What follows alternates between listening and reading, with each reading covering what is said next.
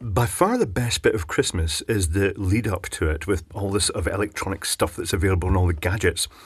So I was in Feltons today, which is a local ironmonger, a hardware store in Ramsey, and I saw this box of rope light. And looking at the picture in the front, it looks like classic tungsten rope light with the little, uh, you can see the lamps inside, the filament, and the sort of little pinch with the sort of concentrated colour of the dye that you, the sort of the coloured paint that they use in the little lamps.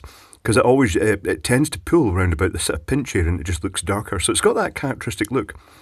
But when you look at the back of the box, the specifications, and let me just zoom in up here on this zoom up.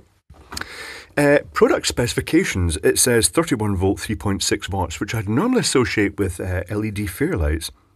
And especially when you get to the 100 lamps at 3 volts at about 11 milliamps each, that does suggest that this may well contain LED rope light, but there's only one way to find out, and that is to open it. So I have a sharp blade here. Let's uh, open it and see what it is, and then analyze it. Either way, so this does have a low voltage electronic power supply. Is this a Jutai? It's Ningbo Golden Power Electronic Co Limited. Okay, that's reasonable enough. And the rope itself comes with the, the usual general disclaimer and information sheet.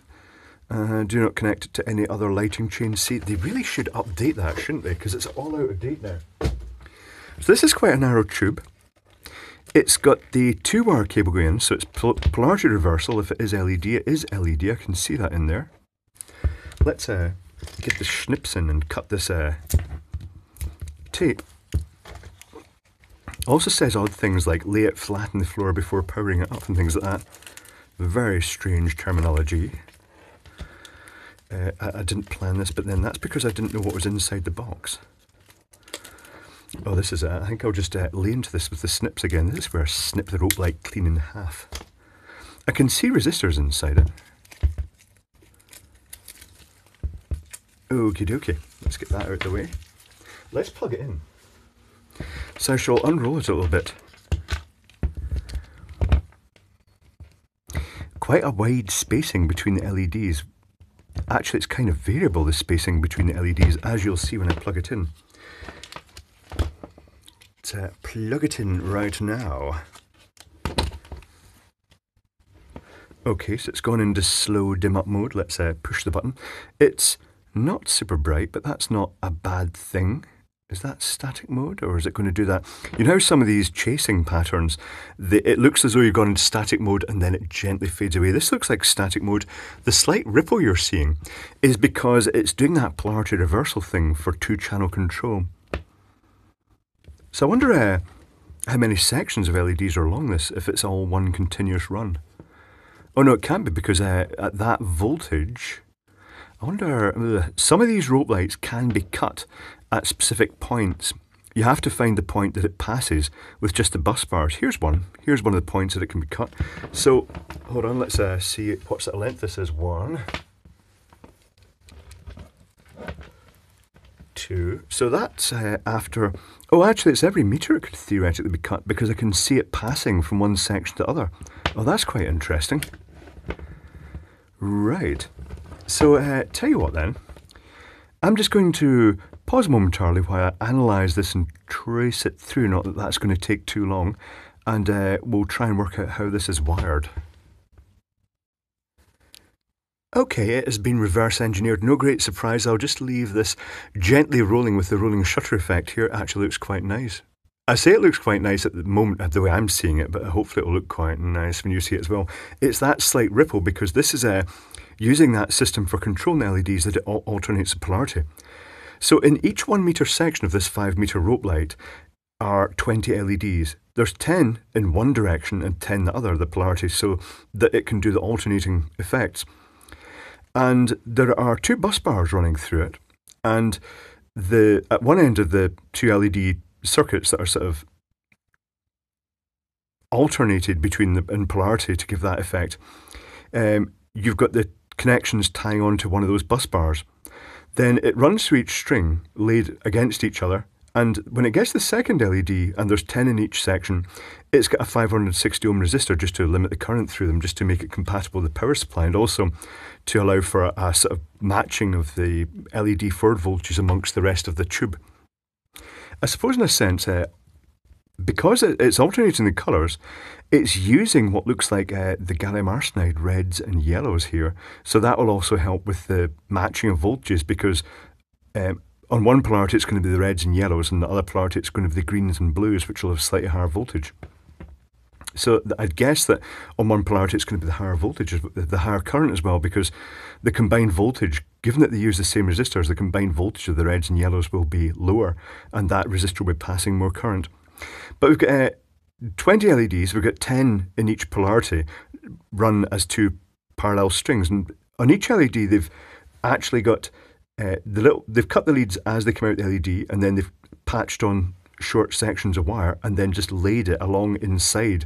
So each of these LEDs is just uh, hooked up to the next one, two LEDs down. Uh, I'm not explaining this very well, am I? But uh, it's basically speaking, it's a, a very simple loom of LEDs that's been poked into the channel, the plastic uh, rope. And I've shown this recently in another video when I was talking about rope light. It was the one about the B&Q effect. So you've got the outer coating of plastic that's extruded on afterwards, and you've got the inner uh, section. They start off the inner section, which has a recess inside it. It's got a void travelling the full length of the rope light that all the circuitry goes in, and the end of it just comes up and closes with which they can stuff the LEDs in, but then it will just close round it. They've got the two bus bars travelling down it that carries the power to the LEDs. And where they've got start a circuit, it appears that they sort of bring a wire out and down the side and then patch it onto that. But then they extrude, once they've tucked all those LEDs in and tested it, they then extrude this outer layer of plastic onto it. There are videos on the internet showing all this happening. It's quite interesting.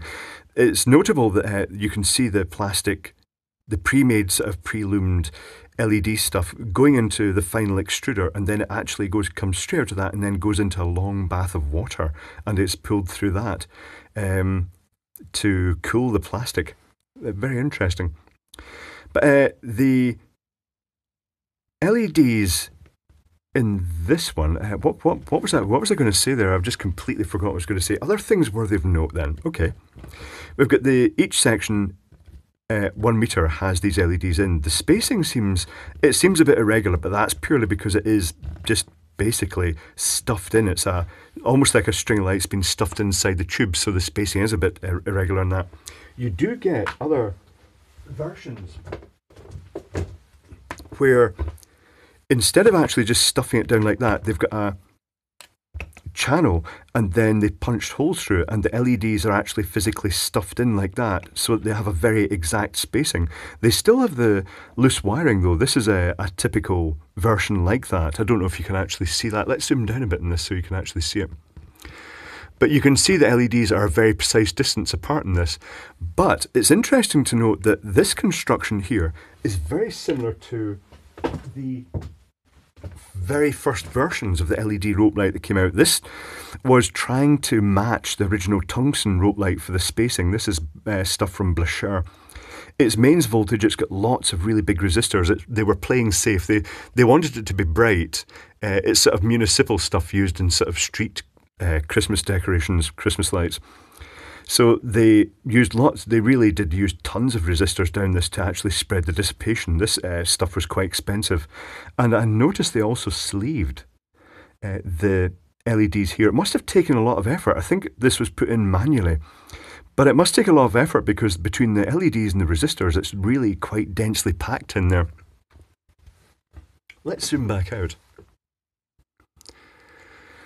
And I've noticed that uh, a lot of uh, municipal Christmas lights, the stuff you'd find on the lamppost, is also using this two inch spacing, I suppose ultimately makes sense because the original tungsten lights, they were much duller compared to, particularly the colours, uh, were much duller compared to LED. So it makes sense that you need half as many LEDs to get a equivalent brightness.